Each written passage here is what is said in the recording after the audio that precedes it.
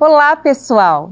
Eu sou Keila Branco, contadora de histórias. Esse é Augusto Dias que vai acompanhar a gente numa brincadeira. Existe brincadeira melhor do que brincar com as palavras? Hoje a gente vai brincar com este livro. Essa não! Comer o meu pão. Tem gente que gosta de pão, né? Pão é vida. Eu adoro. E você, gosta também? Então vamos lá!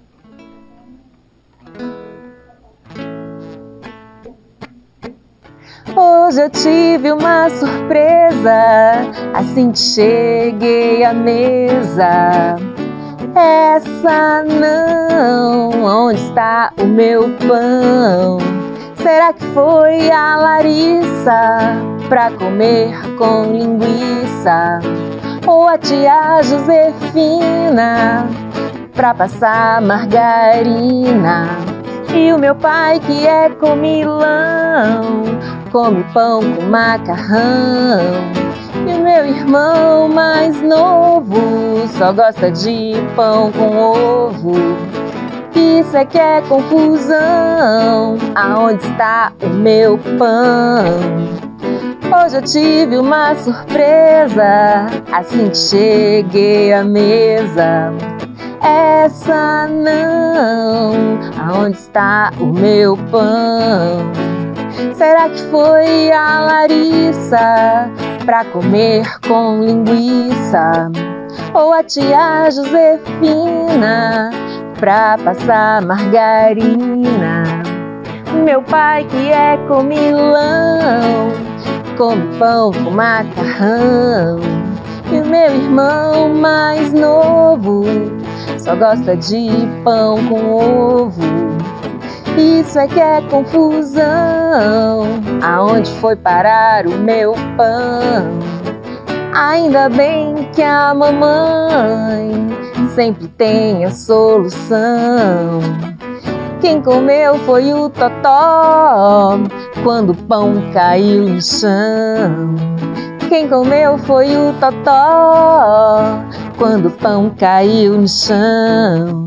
Por isso eu saí cedinho e trouxe da padaria. Por isso eu saí cedinho, um montão de pão quentinho. Um montão de pão quentinho.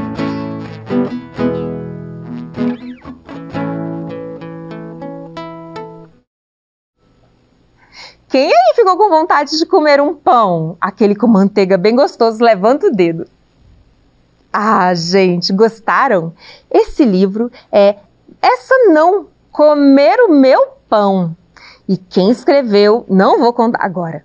Sabe por quê? Vocês vão ter uma surpresa daqui a pouquinho. Mas falando em pão, eu comecei a pensar aqui.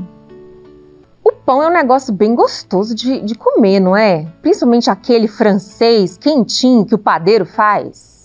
E vocês já pararam para pensar como é que o padeiro faz esse pão? E como será que acontece isso? Vou mostrar para vocês então este livro.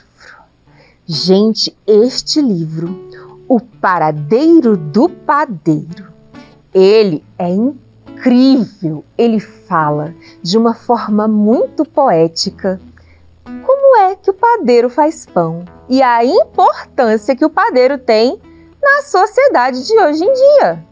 Vamos lá?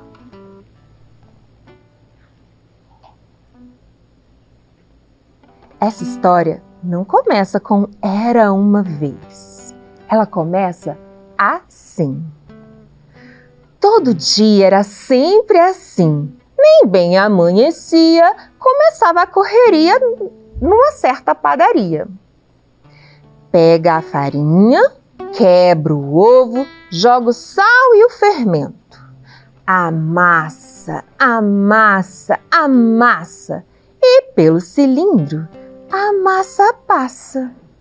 Enrola, enrola, enrola e para a fornalha ela vai agora. E aí sai o sonho e o pão francês, a rosca torta e a broa boa. Enquanto isso, o sol se levanta e com ele a Joana, a Zefinha e a Maria, que diz toda afobada. Eu é que não me arrisco a ficar sem o pãozinho do Francisco. Também diz a Joana: se ficar aqui à toa, vou perder aquela broa. E já passando pela porta, Zefinha falava sozinha. Hoje uma rosca torta tem que ser só minha. O sol esquentava o dia no caminho da padaria e a fama do Francisco pela cidade crescia.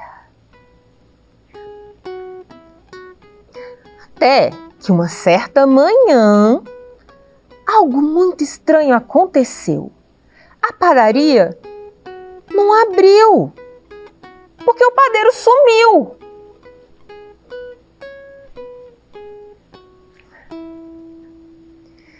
Teria sido raptado? Será que passou mal? Será que viajou? Será que o relógio quebrou? Ai, que mistério, que aflição! Onde está o seu Francisco? Onde está o rei do pão? O sol já se despedia da rua da padaria. E o caso do sumiço do padeiro provocou uma correria. Todos se mobilizaram para encontrar o seu Francisco pois aquele pãozinho crocante valia qualquer risco. As beatas fizeram oração. O detetive convocou os cães e o prefeito ofereceu recompensa.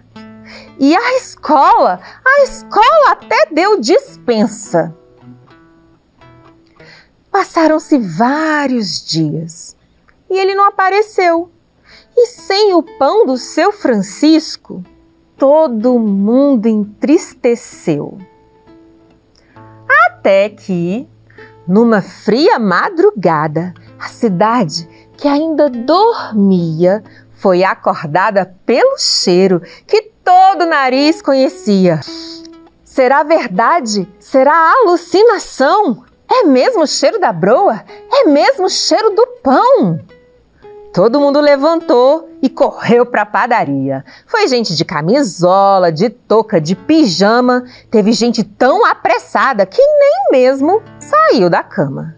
Era sim o seu Francisco, de volta à padaria, fazendo seus pãezinhos recheados de alegria. E todos se perguntavam numa grande euforia: O que foi que aconteceu? Por que fechou a padaria? E com um sorriso faceiro, seu Francisco respondeu: Viajei para realizar o sonho de todo padeiro, conhecer o pão de açúcar lá no Rio de Janeiro. Pim piririm, essa história chegou ao fim. Eu sou Keila Branco, contadora de histórias, da minha boca para o seu ouvido e do seu ouvido para o seu coração. Muito obrigada.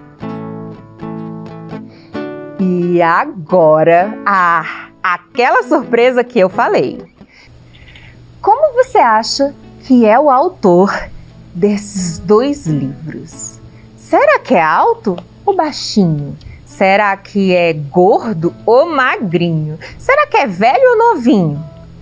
Ah, a surpresa está bem aqui e eu vou chamar com vocês Marco Miranda, o poeta da infância.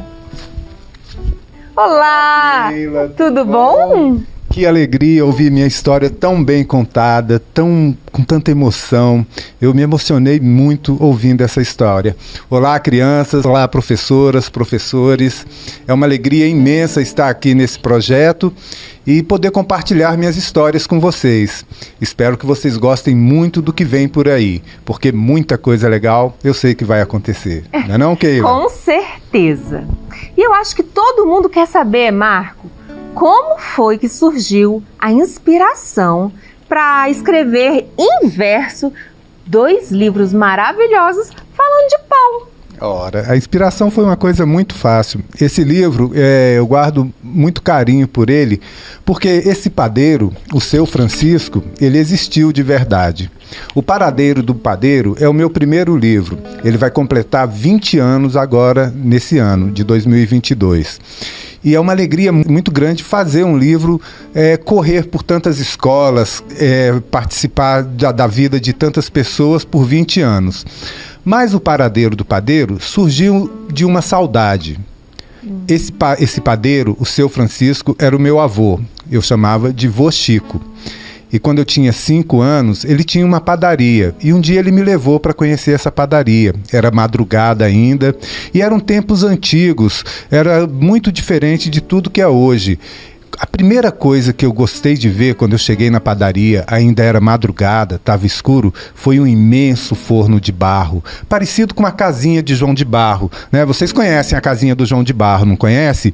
Então, imagina uma casinha de João de Barro gigante. E aí eu fiquei ali do alto olhando os padeiros trabalhando, e o que mais me impressionou foi quando eles colocavam a lenha embaixo do forno e depois abriam a tampa do forno, a boca do forno, né? Tem é. até uma brincadeira que chama boca de forno, porque o forno tem uma boca. E aí os padeiros colocavam as assadeiras com os pães crus e daqui a pouco saía aquele pão torradinho, aquele cheiro maravilhoso.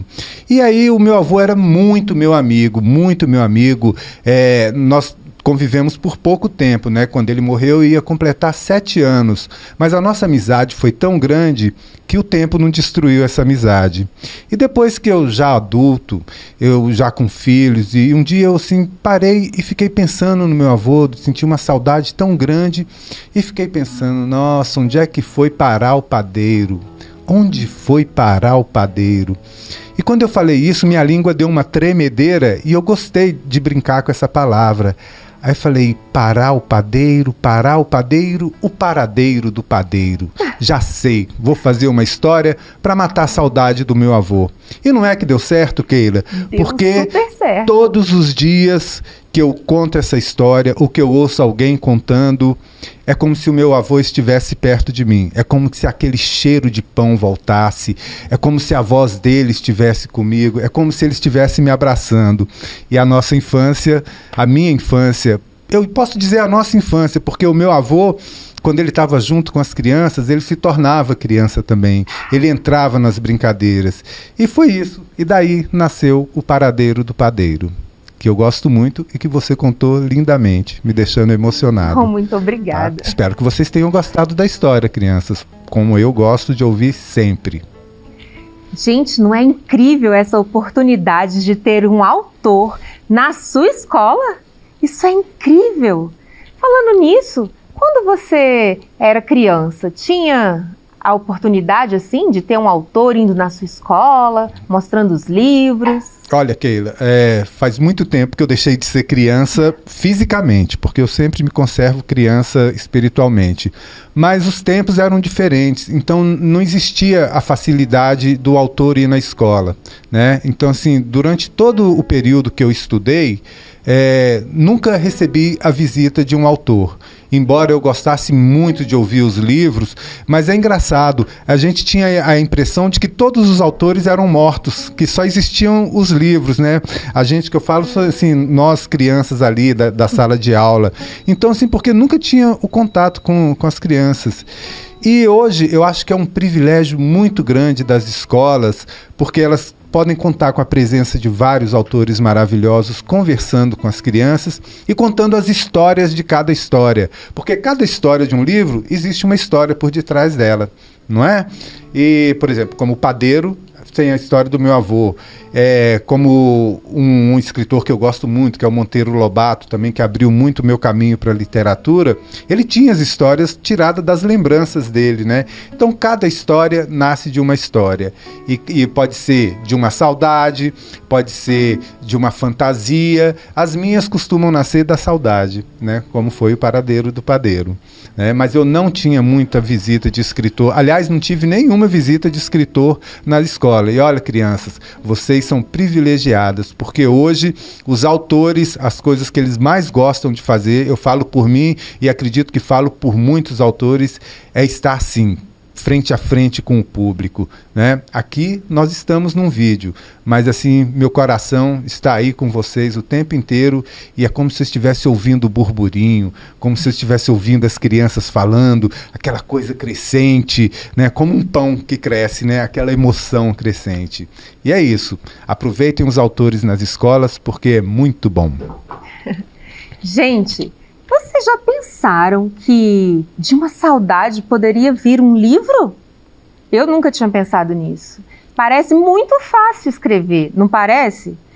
Diz para mim, Marco, assim, é, além da saudade, dessa inspiração, dá uma dica para os meninos que estão lá vendo a gente. Para ser um escritor, o que, que a gente faz? Olha, é, eu acho que assim você pode começar a ser um escritor mesmo antes de aprender a ler. Sabe por quê? Você tem que ser um observador.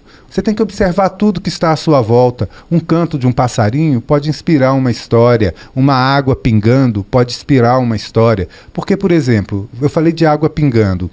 Uma água pingava, pingava, pingava e corria, corria, corria. E à medida que ela pingava, pingava, pingava, corria, corria, corria, formava um rio. Quer dizer, essa história não, não existe, mas está nascendo agora. E assim como um rio, ela pode nascer. Então, assim, as crianças pequenas é observar tudo. E quando você começa a ler, a melhor maneira para escrever é ser um bom leitor. Seja um bom leitor. Não tenha preguiça de ler. Às vezes um livro você começa lendo e ele pode parecer chato, mas quando você vira a página já tem uma coisa interessante. Quando você vira a terceira página já tem uma outra coisa mais interessante. Quando você vira a quarta página, você já está dentro do livro e aí você passa a viver aquela aventura. Então, para se tornar um escritor, seja um leitor, seja um observador e não tenha medo de sentir, não tenha medo de se emocionar, não tenha medo de rir, de chorar, porque tudo isso acontece na história. E a história nada mais é do que vida. Algumas vidas cheias de alegria, com fantasias, com espaço sideral, ou você pode Imagina que maravilha assim, dentro de um livro, você pode caminhar dentro de um rio sem, sem ter a, o equipamento de mergulho. Você pode simplesmente caminhar, porque o livro te permite isso, né? Você dá asas à imaginação e as coisas começam a acontecer da maneira que você quer. Então, crianças, para se tornar um bom escritor, vivam muito, brinquem muito e guardem sempre na lembrança as coisas boas que vocês vivenciaram. Essa é a minha dica. Não sei se todos os escritores têm esse caminho, né? Esse foi o caminho que eu encontrei, buscar nas lembranças as coisas boas que, que, que eu vivi quando criança. E acho que é por isso que eu gosto tanto de falar com criança. Eu costumo dizer que é, escrever para a infância é como se eu entrasse numa máquina do tempo, sabe? Eu entro nessa máquina do tempo e eu vou lá. Vou lá na padaria do meu avô, ou vou na fazenda que eu brincava com ele também. E, e depois também que eu cresci, é, eu acho que, que eu voltei para a infância de outra maneira, assim, criando as minhas filhas. Aí elas me permitiram voltar para a infância também, porque eu contava histórias para ela, muitas histórias, lia as histórias até que eu comecei a inventar as histórias para ela.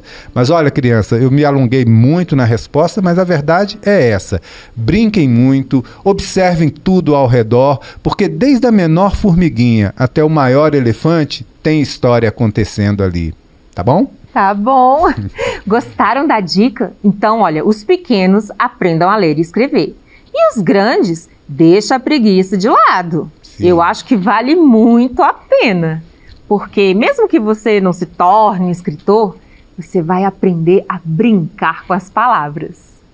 E hoje é isso que a gente veio fazer. Espero que vocês tenham gostado. Muito obrigado pela presença, Marco Miranda. Adorei os livros e eu acho que os meninos lá na escola também vão gostar bastante. Eu acho que sim. Eu agradeço o, o carinho com que você contou a história e eu quero dizer uma coisa muito importante também, porque um livro para a infância, ele não é feito só de palavras. Às vezes as ilustrações contam muito a história. E as ilustrações da Suzette Armani nesse livro são fantásticas. Quando vocês tiverem oportunidade de ter esses livros na mão, vocês vão observar o detalhe de cada pãozinho, das roscas, das pessoas. É assim, foi um trabalho muito, é muito elegante, muito bem feito. Os pães são deliciosos e é isso, tá bom? Espero que vocês Olha tenham beleza, gostado. Dá até vontade Olha. de comer. Olha aqui. se não dá vontade de comer? Não, eu quando eu pego esse livro, eu passo assim mó tempo olhando os detalhes dos pães e realmente dá vontade de comer. A que eu mais gosto é essa. Olha o pessoal na padaria e dá pra gente ver assim, é muito, muito bonitinho. Nossa, é incrível. Ah, eu bato palmas para essas ilustrações também, porque um, um, livro ele se completa, né? Um livro não é só de um autor, várias pessoas existem para fazer um livro. De, ele começa com uma palavra, mas aí essa palavra vira desenho e aí tem que juntar muita gente para poder fazer o livro ficar pronto e até chegar na mão do leitor, tá bom? Por isso, ó, cuidem dos livros, crianças, porque os livros dá um trabalho para fazer, mas é um trabalho muito gostoso. Gostoso igual um pão quentinho. Eu espero que vocês possam, uma hora, botar as mãos neste livro e se deliciar também, gente. Foi muito, muito bom a nosso papo, a nossa brincadeira. E a gente se despede por aqui. Tchau! Tchau, pessoal! Espero que vocês tenham gostado.